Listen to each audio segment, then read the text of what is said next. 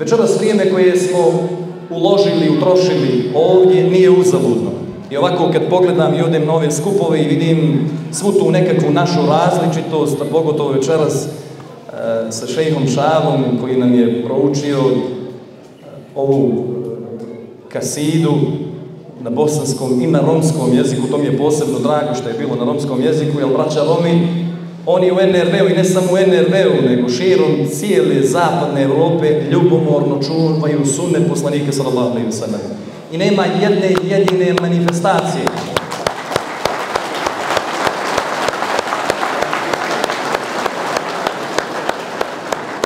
koja je veličanstvena, dobra, na temeljima Kur'ana i sunneta, a da je braća Romi ne podržavaju. Molim Allaha subhane da ih Allah pomogne, njihove džemate u NRV-u, da nam sačuva čestite i dobre, dobre imane kao što je Šabo i svu ostalu i ostalu braću. Poslanik sallallahu alejhi ve selleme nam je spomenuo ove različitosti i upravo ovaj skup me raduje da smo u tim različitostima i da budemo od onih koje je poslanik sallallahu alejhi ve sellem spomenuo. Kako prenosi Abu Darda, a bilježi Taberani,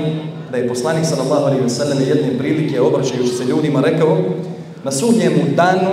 gospodar će proživjeti neke ljude lijepih, svijetlih, ozarenih lica koji će biti na mimberima koji su izgrađeni od posebne vrste bisera.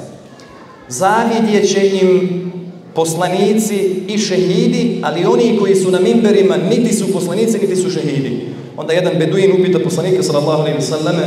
Allahu poslanice, šta su njihove osobine da su došli na takvim i tolikim deređama? Kaže poslanik sallallahu alejhi ve sellem: Oni se međusobno vole. Iz različitih su mjesta i plemena i okuplja ih spominjanje uzvišenog Allaha subhanahu wa ta'ala. Večerašnji skup je dokaz da se međusobno volimo. Večerašnji skup je dokaz da dolazimo iz različitih plemena,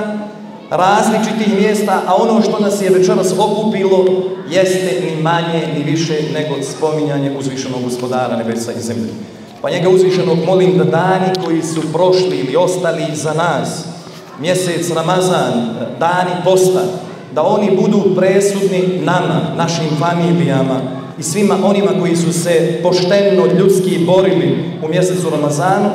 da budu ti dani svakako za nas, a ne nikako protiv nas i da ti dani budu presudni za džennet, društvo poslanika sallallahu alejhi ve i za gledanje u plemenito lice gospodara nebesa, nebesa i zemlje. Njega uzvišenog molim da ovaj skup ovdje večeras nam bude sebet, e,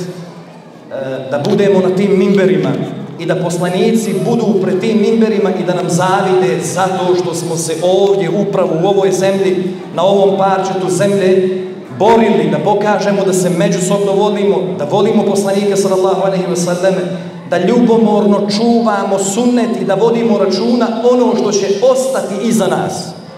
I da ne ostavimo tragove od kojih ćemo imati i tekako, i tekako, ukoliko su pogrešni, velikih patnji u svojim, u svojim grobovima.